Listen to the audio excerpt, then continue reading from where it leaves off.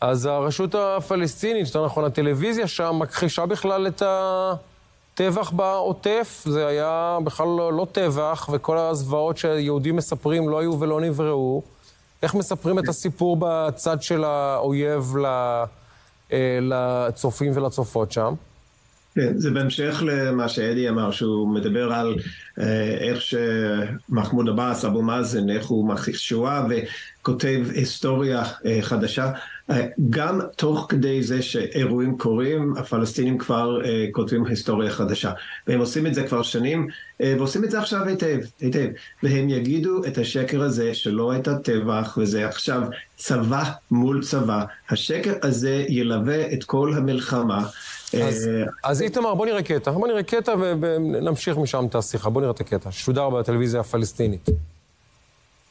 لا يجوز بأي شكل من الأشكال بأن يرد على عمل عسكري مجموعات عسكرية مع مجموعات عسكرية بأن يتم الرد بإبادة جماعية للمدنيين العزل هذا يظهر كم أن حكومة بنيامين نتنياهو قد بلغت أعلى درجات الإفلاس يعني إسرائيل حازت على الدعم الدولي الخصوصي الأمريكي بالأكاذيب حينما خرجت بعض القنوات الأمريكية التي تتحدث عن ذبح الأطفال الإسرائيليين. لكن حينما تكشفت الحقائق وتراجعت وعدم وجود أي دليل على ما تحدثوا عنه وحجم الدمار والقتل الذي تمارسه دولة الاحتلال ضد أبناء شعبنا الفلسطيني في قطاع غزة بدأت الصورة تنقلب رويدا رويدا כן, הכל מובן, נו.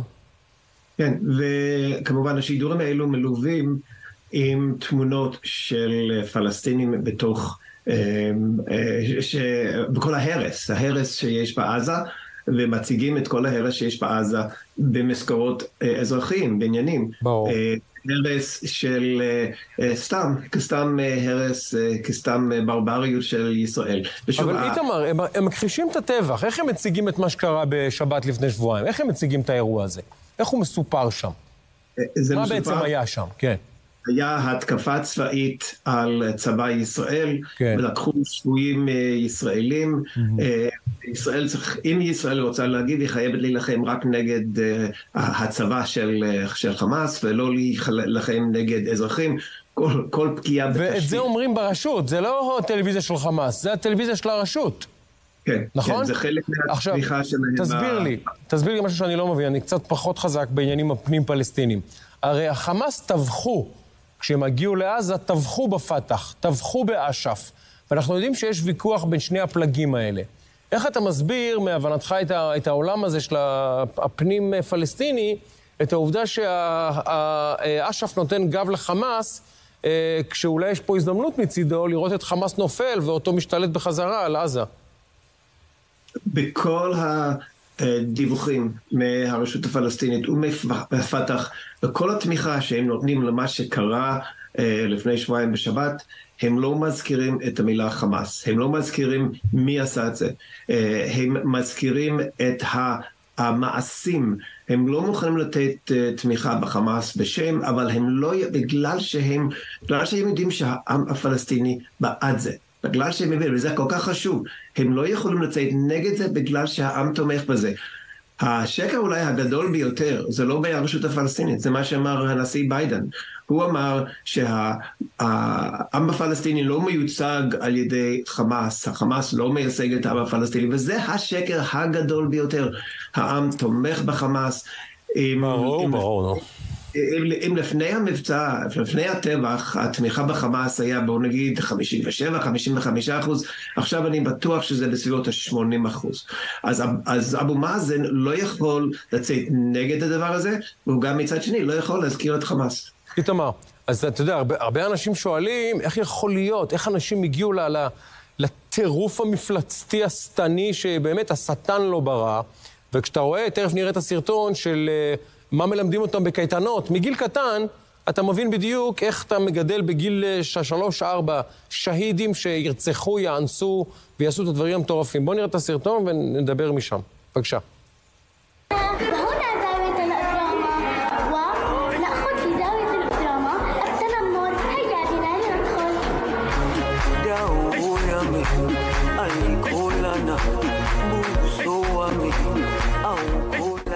Oh.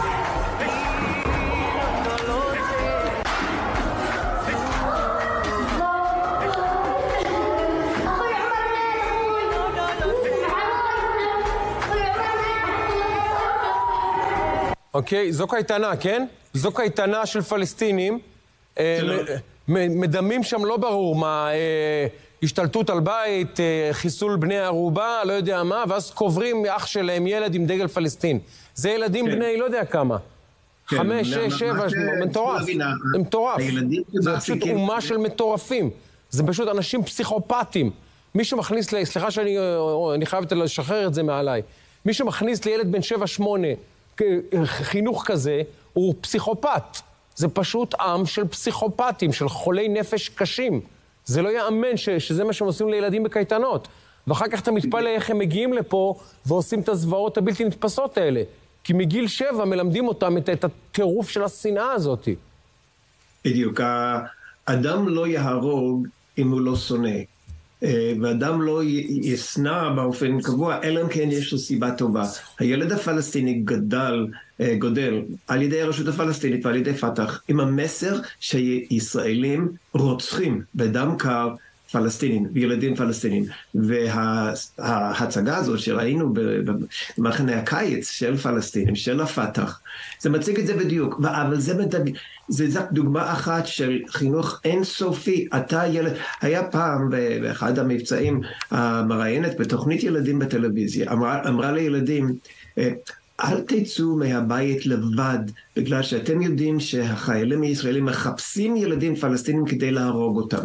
עכשיו, הילד הזה גודל על פחד של ישראל, והוא מבין, והוא משוכנע שהדבר הנכון והאתי והמוסרי לעשות זה להרוג ישראלים ויהודים, בגלל שהם באים אה, להרוג אותם. אם ניקח את האמירה היהודית, הבא להרגך השכם להרגו, הפלסטינים מחנכים את ילדיהם שישראלים באים להרוג אותם, ולכן יש להם זכות להרוג אותנו. פסיכופטים לגמרי, אין מה לומר. באמת, זה פשוט תרבות של פסיכופטים שמחנכים אנשים לרצוח מגיל אפס.